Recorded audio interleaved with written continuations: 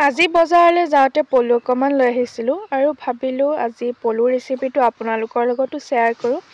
এতিয়া মই কেৰাহী এখন গৰম হ'বলৈ দি তাত তেল দি দিলোঁ আৰু তেল গৰম হোৱাৰ পিছত মই ইয়াত বইল কৰি থোৱা পলু কাটি পিনে দি দিছোঁ আৰু তাৰপিছত ইয়াত দি দিছোঁ হালধি আৰু নিমখ দি পিনে ইয়াত আমি ধুনীয়াকৈ লৰাই দিম আৰু পলু খাবলৈ কোনে কোনে ভাল পায় কমেণ্টত জনাব দেই।